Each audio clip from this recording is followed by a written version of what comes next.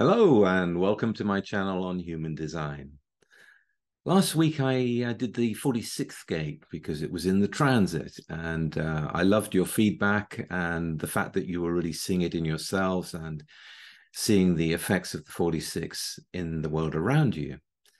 So it's like, how do you get further into human design? You can look at your own chart again and again. You can study, you can look at your friends and your family and learn through that. But yes, you can also learn through the transits. It's one of the reasons um, I put in the daily impact in my on my website, and there's a link below if you want to see what the transit is uh, every day. But to encourage you to do that, I thought I would continue that. And if you're watching this when it's just come out, uh, the 18th gate will be in the sun. So the 18th gate is about correction. It's about comparing things to how they are and how they could be. It's a kind of an imprinting gate where you can see what's wrong in the patterns of things, you know, that could be improved, you know. It is the awareness to see how things are not right. It's got a kind of dissatisfaction in it and for that reason you know it's it can challenge authority you know you're not doing it right you know why should you be in power because you don't know what you're doing? You should be doing it this way. So there's this corrective vibe that's about. Now of course this is something that can be uh, get irritated when things are not right. It can be irritating when it's trying to when the awareness is being spoken without invitation, then it can be the bitch gate. You know, well, you should have done that. You could have done that. Why don't you do that? Come on, you've got to do this. You know, this kind of thing. So I actually have a great love for this gate. I have the 58th gate, the the energy of joy for improvement. So actually, I love the 18s.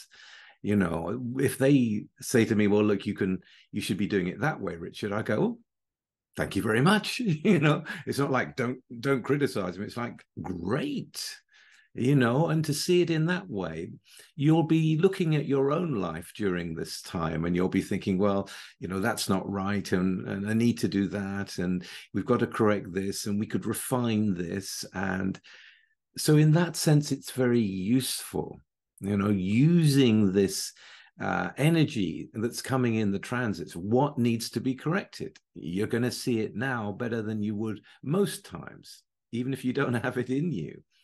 So it's something to take advantage of.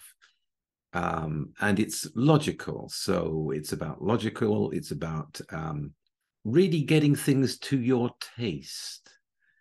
Right, this is part of the stream of taste. So anyone with the 18, their form of correction will be according to their taste. And of course, it will have a certain utilitarian um, attribute to it as well, because after all, it wants to make things better. It wants to make things easier. It wants to make things more streamlined. It wants to make things more beautiful, shining them up, you know, cleaning them up so some 18s really enjoy the cleaning and the improving through cleaning, and others don't at all. others can't be bothered at all. It depends on the conditioning, and very often the conditioning from the parents. You know, the the boy being affected by the mother, the daughter being affected by the father. You know, this kind of Oedipus Electra energy that can be there. So if you're a, a woman and you had a good father, then you'll be comparing all your lovers to your father. It just will be the case. But there is built into this wanting to really make things better. And in that sense, it has a, a, great regard for human rights. It is the, uh, the gate of correction and work on what has been spoiled by uh, in, in the hexagram. So it's really about helping helping humanity, helping people into a more functional life. And I find it's incredibly useful, incredibly valuable. And, you know, I have the energy to add to the to that awareness to get something done. So I personally have benefited a great deal from the 18s if of course it's in an open center then there's the dissatisfaction that the mind goes into in the comparisons of things all the time. And then you can get lost in that you know? Then you can get lost in the fact that nothing's uh, nothing's as good as it could be you know? It can feed that. So you've got to see is it in an open center? Is it in a fixed center? If it's in you. And if you're looking at it in an open center then of course you have to consider all the rest of the openness in the chart but knowing the qualities of the gates and seeing them really impact us in our lives during the day. I mean, this is the value of it. This is the fun of it.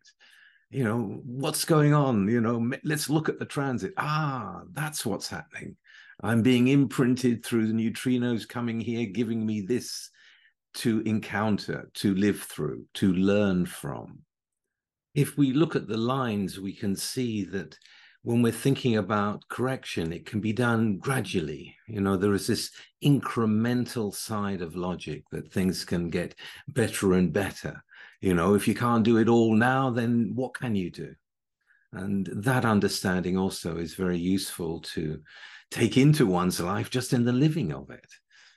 And of course, there are going to be things where you can't correct any, when you can't do anything about it, where there is no correction possible when someone has died, as an example, or when the car is a total write-off. You know, there's certain things like, okay, you know, we got to deal with this in some way. We've got to, you know, accept that nothing can be done.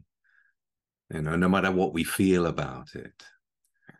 And then when you get to the third gate, the third line, you get to zealotry. So this is like, you know, the real energetic obsession that's in there to clean things up, to make things better you know quite something by trial and error of course. You know you can overdo it you know. You can overdo it to the point i was dealing with um, uh, reading the other day and someone had that in their chart and it was like well you know not all the staff are going to be able to keep to your high standards continually. You know it's a it's it's quite a a drive to be in that energy no matter how good it is and then again in the fourth line, you get to the point where nothing could be done because of inadequacies. You know, and really, and again, when you think about the imprinting side of it, the pattern recognition that is in the 18th gate, you know, well, what patterns have you taken in? I mean, what patterns have you been imprinted with? You know, if you've been imprinted with dysfunctional patterns, it's going to be very difficult. Which leads us to the fifth line which is about therapy you know the the the understanding that i'm going to need help from outside. I need an expert to come in. I need someone who to, can help me with this problem that i have. Logic will always see things in terms of problems. Well problems or excuses. Fifth lines always have this kind of edge to them. So again there is this this kind of crazy side that can come up in the 18 sometimes where you know you feel very unstable because you can't get everything right and so many things are wrong. And and the danger of course is to turn it inside. It's to say you know there's something wrong with me that i cannot fix. You know i'm a crazy person um you know because i want things just like this and just like that and it's just not like that in the world. So there's all that involved you know and then moving finally up to be able to relax a little bit more about the correction and uh, you know move from the mundane into more of the uh, the spiritual into more of the refining at higher levels you know through perhaps through the breath or through the meditation practice or through whatever it may be for you you know and when we get to the sixth line and we get to the perfected form again it's like when you've when you've really gone through all the stages and working to improve something and getting really good at it down to incremental details beautiful things can come from this. Beautiful things can come from this. So it's quite an energy to have in the in the field around us. And i suggest you use it well you know i'm doing my accounts at this point you know it's very easy for me to to work with figures when this energy comes in because of its logical nature and if you catch yourself complaining about things or seeing what isn't wrong. No, it's a transit. Please understand that transits come and transits go. You can take advantage of them. You can you can learn from them if you're learning human design. You can see them reflected in your life, and you can get a better understanding of what these energies are that make up the Maya. Okay, well, I hope you enjoyed that. And if you did, please like, share, and subscribe. And I will be back again very soon with something completely different. Bye bye for now.